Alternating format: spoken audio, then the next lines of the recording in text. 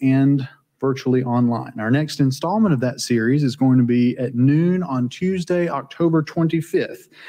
And the subject of that is going to be a little bit of radio in the ring. We'll be talking about the 1938 boxing match between Alabama's Joe Louis and German boxer Max Schmeling. And our speaker will be our very own Dot Moore, author, longtime friend of the agency, with us today. Dot's working on a new Louis biography. We're very pleased to uh, to welcome her for the next uh, installment of this lecture series on October 25th. It has been great pleasure to introduce to you today's speaker, Sam Christensen.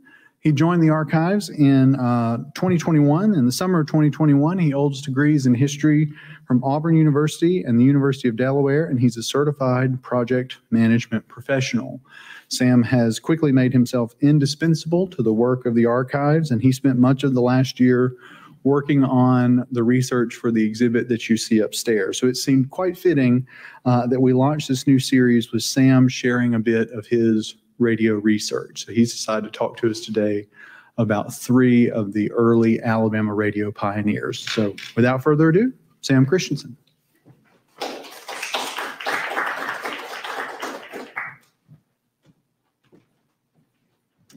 Good afternoon, everybody. Uh, thank you, Scotty, for the kind introduction. Thank you all for being here, both in person and virtually. Uh, thank you those to the uh, those of you that are in the future watching us uh, perform this now. So, like Scotty said, I'm going to introduce you to three Alabama radio pioneers. Uh, these people pioneered radio technology in the early days of the 20th century. We do talk about all three in the exhibit, but I wanted to go a little bit into more detail of them today and perhaps personalize them a little bit more. So our first pioneer was also one of the first uh, con contributors to the radio industry. Uh, this was electrical engineer and inventor Lee DeForest. Uh, DeForest invented the triode vacuum tube in 1906, which really made radio broadcasting practical. And although much of his career was marred by various patent disputes with other engineers, uh, DeForest still called himself the father of radio and much later the grandfather of television. But well before he was the father of anything, he was born in Council Bluffs, Iowa in 1873, and his Alabama connection came several years later when his father moved to Talladega to become the president of Talladega College.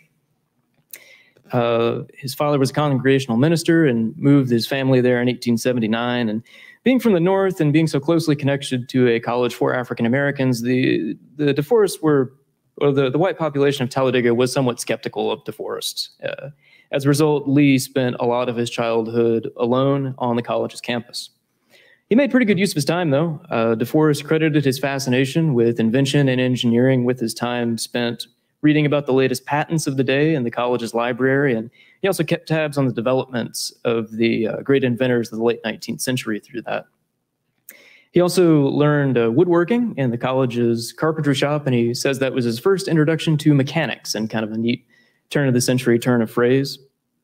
One of his earliest adventures off of campus was actually a trip to a new blast furnace that was about a mile, mile outside of uh, Talladega city limits.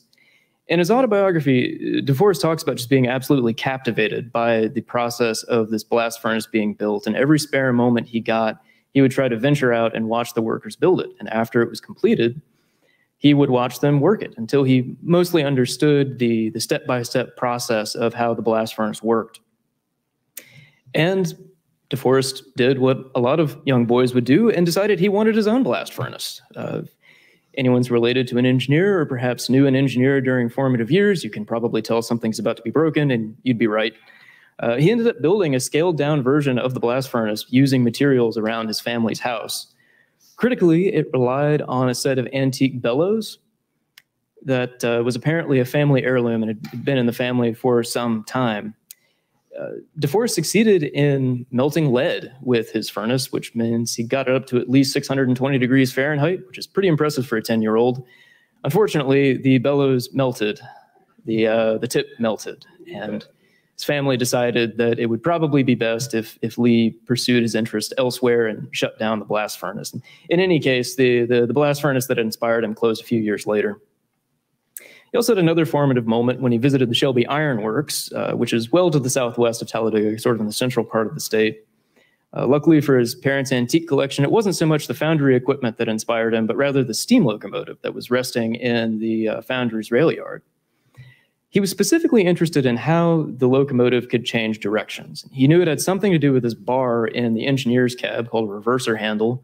So he climbed up in the engineer's cab and traced the mechanical links from the reverser bar all the way down where he was crawling underneath the locomotive to find this reverser gear, which is ultimately how it changed directions.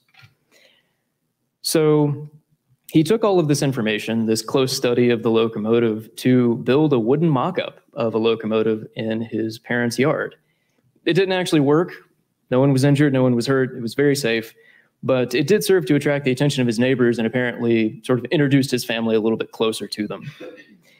All of this is to say that DeForest had a unique childhood. Uh, his access to the college's resources at such, an early age was very formative to his interest in engineering and even though his father really wanted him to follow in his footsteps and attend seminary, DeForest persuaded him that it, he would be better off as an engineer, particularly in the then pretty new field of electrical engineering. So Lee left Talladega to attend Mount Hermon Prep School up in Massachusetts, and he attended Yale after that. He stuck around until 1899 when he finished his dissertation on Hertzian waves and received a PhD in engineering. His career in earnest really began in wireless telegraphy. His, his first invention was a development of Marconi's uh, wireless transmitter, which roughly doubled the speed at which you could transmit things wirelessly. Unfortunately, DeForest's invention happened to coincide with him visiting a man named Reginald Fessenden's lab, who was a Canadian born wireless inventor as well, uh, working in New York at the time. And this really spawned uh, DeForest's first patent controversy, and the courts ultimately ruled in favor of Fessenden in 1905. So this was kind of a trend for DeForest where he would have some success, but it was always checkered with a few lawsuits and oftentimes his business partners embezzling money or scamming stockholders, things like that. Uh, he left the company in 1905 to pursue his own work in broadcasting. It only took him a year or so to hit pay dirt. Uh, he invented this, which is the first triode vacuum tube in 1906 He called it the Audion and secured a patent for it in 1907. And that same year, he actually started doing these experimental broadcasts from his laboratory in New York City. But as I mentioned earlier, DeForest's success was always a little bit checkered.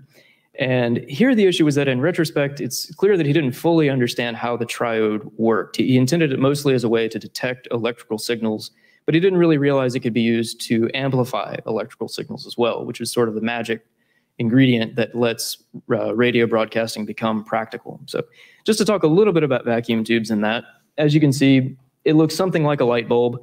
Uh, it's actually used to control and amplify electrical current. Uh, it features three elements, which is where the phrase tri or the prefix tri comes from.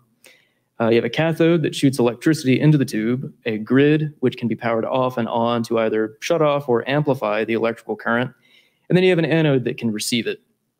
All of this occurs in a vacuum, and hence the name vacuum tube. And when amplified, these radio transmissions can be carried over a much greater distance with much greater clarity compared to an older, say, crystal detector. And uh, when you receive the signals, they can be played with greater volume through a speaker. The issue with DeForest's early patents is they were very leaky. They were vacuum tubes that weren't quite vacuums. Some claim that this was a way to get around some other patent issues, but DeForest always blamed his lab assistant for not being very good at making vacuum tubes for uh, why they didn't work as well. Triodes, it has to be said, would define electronics for the next half century and, until they began to be replaced by transistors. Uh, but it really took the work of another engineer, a man named Edwin Armstrong, to realize their full potential. Armstrong wrote the scientific paper back in 1912 theorizing that a triode could be used to amplify signals. Uh, DeForest began experimenting with just that after reading the paper, and at about the same time as Armstrong succeeded in those experiments, DeForest succeeded as well. And this began a 19 year legal battle between Armstrong and DeForest to see who really deserved the credit. So, on one hand, DeForest had invented the triode, but on the other, Armstrong understood the science behind it a little bit better. The battle really went back and forth. Uh, both claimants won different cases in different courts, but every time the other one would appeal, and then it would just be escalated to a slightly higher court. Uh, by the 1930s, they were in the US Supreme Court, and they ultimately ruled in DeForest's favor in 1934. So DeForest won the legal battle, but his reputation never really recovered from this. A lot of engineers very vocally expressed their opinion that Armstrong truly deserved the credit.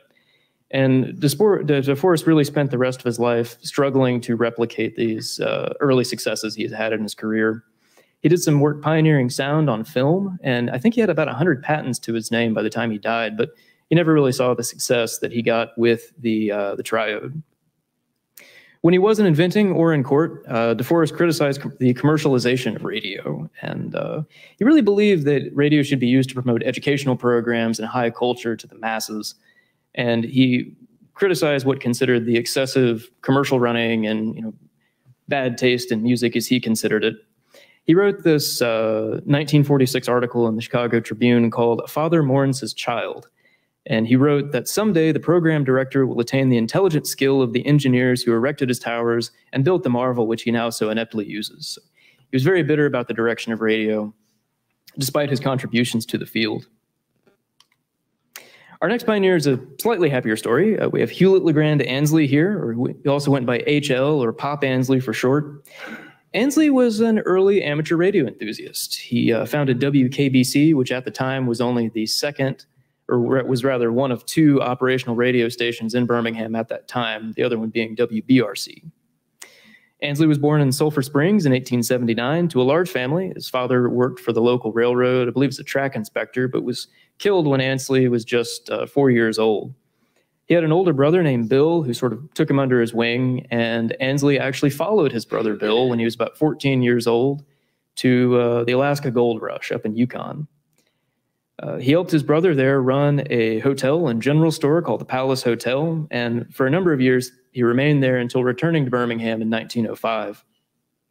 He started a career in sales, working for an industrial plumbing company called the Crane Company. They built these large valves for, I think, Alabama power dams. But in his spare time, uh, Ansley was getting involved in the local Birmingham wireless scene. He, he co founded the Birmingham Wireless Association with a few other enthusiasts in 1908. And the purpose of the club was really to connect amateurs together and uh, attract newcomers to the field and ultimately help each other shoot or troubleshoot technical problems they were having with their equipment. They also had, or at least worked closely with, a junior wireless club to attract young people into the field. And really, in these days when not that many Alabamians owned or even had access to radio, these amateur clubs were critical in sustaining and ultimately spreading the medium of radio.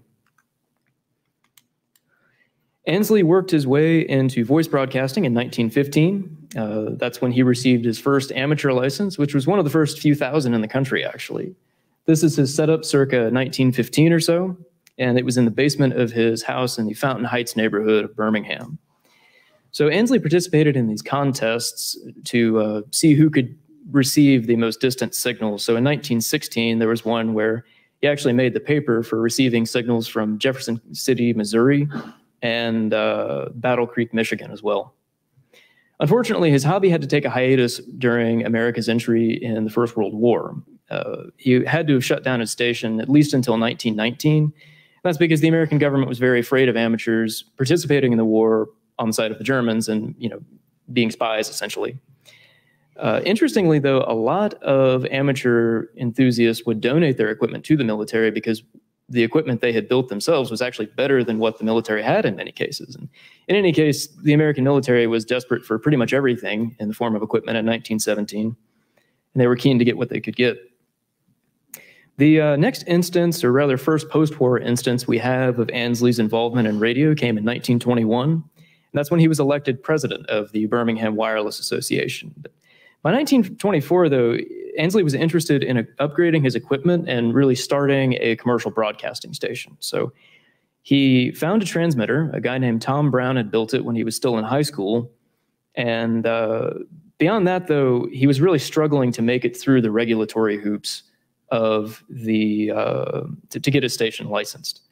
At this point, there was only one real federal regulation of radio. That was the Radio Act of 1912, put the Department of Commerce in charge of regulating licenses and stations and things like that, but they were completely swamped. Uh, they wrote back to him and said that if they gave him uh, permission to uh, operate a license or operate a radio station, it would just open up this floodgate of about 500 other applicants that had uh, applications on their desk just from the South alone. So they told him the best thing he could do was simply to wait for somebody to give up their license. He would then get in line and eventually, one hopes, would get a license. That didn't really stop Ansley, though. It didn't deter him. He, he fought for two years to get it, enlisted the help of a state senator, and critically, he was able to point out that under a Department of Commerce rule, they would give licenses to stations that already had stations built. And he technically still had a station built. He had a transmitter for it. He may have had some of the remaining equipment from his 1915 setup. And he was also able to argue that he only really wanted to broadcast for three hours after work when WBRC wasn't broadcasting anyway. They, uh, they finally okayed the station in June of 1926 and gave him the call letters WKBC. So WKBC broadcasted from Ansley's home again in the Fountain Heights neighborhood between 7 and 10 p.m. after he got off work.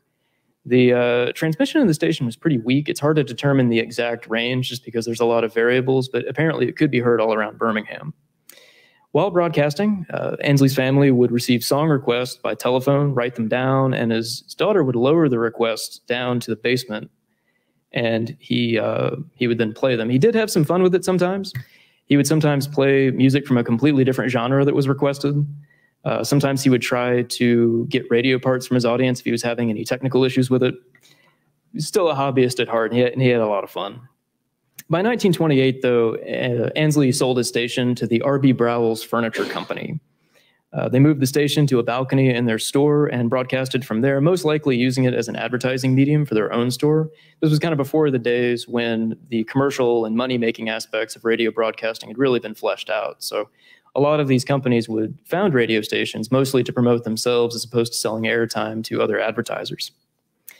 The Birmingham News then bought the station from the furniture company in 1932 and changed the call letters to WSGN, which stands for South Greatest Newspaper. There was actually a play on the Chicago uh, Tribune's radio station, station WGN, which stood for World's Greatest Newspaper, so only a step down from Chicago. WSGN had a very long history after this. Uh, some of y'all are probably familiar with it. It was very big in the 1950s through the 1970s, and they did not sign off until 1986 when uh, they had their last message with Vera Lynn's rendition of We'll Meet Again, which turned out to be accurate because as recently as a month ago, a new station is reviving those call letters for a classic station in Birmingham. So it carries on. But back to Ansley. Uh, he, he didn't completely leave radio behind him after he sold the station.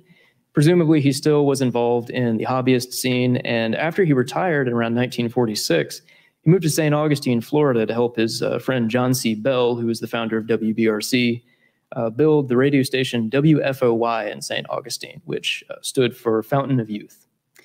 His last stint in radio came in 1951. Uh, he broadcasted over WSGN for its 25th anniversary, and afterwards he finally did retire back to Florida to grow grapefruit and Japanese cherries. Our last pioneer is named Ernest House. He was a tinkerer, inventor, and founder of Birmingham's only radio manufacturer of the 1920s. Uh, contemporaries describe this man as having more curiosity than 14 cats. He would do things like build his own motorcycle and, critically for our purposes, experiment with electronics. His specific contribution to radio was a circuit that allowed a radio to be controlled with a single dial. Now, as you can see with this earlier radio House is holding here, most early radios in the 20s, especially the early 20s, had three dials to control it. And they didn't really have any station markers like we would recognize today. They were more graduated numbers from zero to 100. They look sort of like combination locks. You would dial in each one to get the exact station you wanted, and then you would simply write it down to uh, be able to find the station again. I, I don't want to oversell how difficult that is, but obviously the process worked. It was a very precise way of tuning. And with a little bit of practice, you could certainly find stations with the three dial method, but there were still a lot of variables with it. Different antennas would give you different results on the stations. And uh, by the mid 20s, there was definitely an established demand for a simpler means of tuning. The earliest methods of this involved mechanical means of connecting one dial to the other two, which I apparently was not as precise. It was very difficult to line up the dials correctly. So House decided to take a slightly different approach. He relied on what's called a regenerative circuit to recall or to change multiple dials. And this basically means that some of the electricity from the, the output of the circuit was brought back into the circuit. And then that electricity was used as a way to control or allow the dials to be controlled by that first dial. So they could sort of tune themselves just with one dial. House and a few other colleagues created the Radio Products Corporation to market the idea. Uh, he, he received a patent for his circuit, which he called the Superflex circuit, and he named all of his radios after it there. Uh, he received the patent in 1927, I should say, but he began manufacturing a little bit before that. All of the radios produced by the Radio Products Corporation were hand built. Uh, they used a mahogany uh, casing and a nice Bakelite frame that sort of has a theater curtain motif. We have one upstairs that you're uh, certainly more than welcome to come and see. The uh, he also developed this speaker horn on top of his workshop that he would use to play transmissions that he received or play broadcasts that he received from the Superflex radios. This was apparently quite popular, and in the case of the 1927 Dempsey uh, Tunney match, heavyweight championship, apparently hundreds of people gathered around this station to listen to it. By 1929, uh, House was interested in, of course, selling more radios, and he tried to get a state contract. He wrote to Governor Bibb Graves a proposal to for the state to purchase several hundred radios to uh, for Alabama or uh, Graves Alabama School of the Air concept. This was a very ambitious plan to put a radio in each accredited high school in Alabama.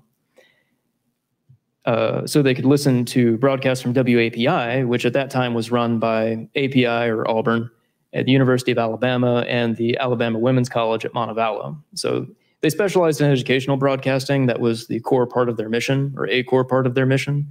So they wanted to broadcast to high schools. It was a little bit of a tough sell because Graves wanted the county boards of education to take the lead on that and preferably receive donations of radios instead of uh, spending state money on it. And in any case, it was not successful. Uh, any idea that the state would expend that kind of money to uh, buy radios for its schools pretty much died with the economic realities of the Great Depression. The uh, Radio Products Corporation largely followed the economy's downward trend at $80 per set, that was the, the price of their entry line model. It was a mid range price, but it was still about twice as expensive as most of the cheaper models that were available to people as well, and just beyond the reach of many Alabamians. And I don't believe their production quotas ever quite reached a level where they could compete nationally or even regionally. And by 1932, business was so bad that House was not selling radios as much as he was trading them for goods and service. There was one anecdote where he gave a radio to a dentist so he could get his daughter's teeth fixed. Only two of these Superflex radios are known to exist today. Both of them are in the collection of the Alabama Historical Radio Society. And as I mentioned, they were kind enough to loan us one, so you can see it in the exhibit upstairs. I guess I should also mention the, the technical matter of the Superflex circuit. You might say that the reason House wasn't really able to profit from this further, or the reason why other engineers didn't pick it up, was that he found a great solution to a problem that was solved by other solutions, and it really diminished its significance. Uh, by the late 1920s, the most advanced radios relied on what's called superheterodyne circuits, which only require two tuning knobs, one for the station and the other for uh, adjusting the antenna. From what I understand, further developments towards a single dial radio uh, focus more on adjusting the antenna to make it a little bit easier on that front. So still, by the standards of the day, the Superflex circuit was very much ahead of its time. By way of conclusion, the uh, the early decades in radio engineering must have just been incredibly exciting times to be involved with the new medium. I mean, yes, radio represented this novel and relatively inexpensive form of communication, but and also in other ways, it was an opportunity for people to contribute to this growing field. Uh, with the benefit of living through our own segment of the information age, it's kind of easy for me to see parallels between Ansley and House and people creating computer programming and computer hardware uh, businesses essentially in uh, their basement or otherwise by humble means. And I suppose as a Yale PhD, DeFore sort of flies in the face of that. But even he was attracted to the field largely because he saw that an individual could make a contribution to it. Alabama cannot necessarily claim the largest or the most famous manufacturers, but I think that if we focused only on those largest and best, we would miss an important point about radio in this period of history. And that's that its low financial bar and in those days its technical immaturity allowed for innumerable, if relatively small, contributions to the medium's development. Thank you very much for listening. Uh, I hope you'll all come up and see the exhibit and uh, join us for future radio moments. Happy to field questions now.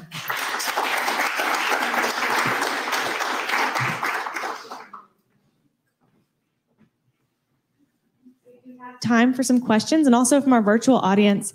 Uh, if you would like to submit your questions in the comments, we'll be able to ask them to Sam. So thank you, Sam, for that wonderful presentation. Anyone have any questions? Yes, Doc. He talked about the radio product. How much does the radio cost? I was really thinking about Franklin Roosevelt and fireside chats. Do people have radios? Radio ownership in the beginning of the 1930s in Alabama, I believe, was right at 10%, maybe a little bit lower. By the 40s, about 50% of households had access to radio, whether that meant that they owned one themselves or they um, they otherwise had access to one, easy access to one. Uh, I mentioned the Superflexes started at about $80. I believe that's about $500 in today's money. So quite expensive, about, about, about what a laptop computer would cost, say. Um, a lot of what they did was they had neighbors that didn't have radio, they'd all gather around the radio like it was something you could see. Right. Talking. And so that's how a lot of them were able to get the news. I, I have the radio that my grandmother had that they listened to. Very nice. And so, Justin, for our virtual audience, you could hear, um, the what they would do is they would gather around the radio. So you would have a, maybe one neighbor who owned a radio, and other neighbors would come in and be able to listen. It became kind of a communal thing. Um, and then, what was the second part that you said? Oh, I just said I had the radio that was, it was a shortwave, It had shortwave on it, yes. had shortwave on it. You could listen all over the world. That's how a lot of them were.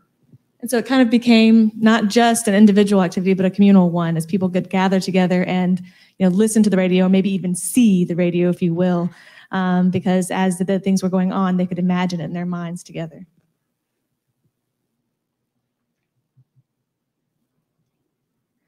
Well, I have one question for you. if you Sure, don't go mind ahead. me asking. So, of course, there's a lot of beautiful radios upstairs, most of which are on loan from the Alabama Historic Radio Society. Uh, we also have some on loan from Mark Bendixson. Which one's your favorite and why? My favorite is the uh, Sparton Model 557. It's this very pretty Art Deco cobalt glass radio. Uh, it's very eye catching, very pretty. Yes, that, that's the one. If you saw any of the advertisements, that's the one that we used in it. So, and we definitely, um, I think at the archives, found ourselves very attracted to that one. Definitely a collective staff favorite. It's, I'll tell you one more thing. Since cars were a big deal then too, they did a lot of radios, tabletop ones that the front of it looked like part of a car. that's right. We also have a, uh Crosley dashboard radio that's kind of a similar motif. Isn't it really decorative? Yeah, beautiful, beautiful radios.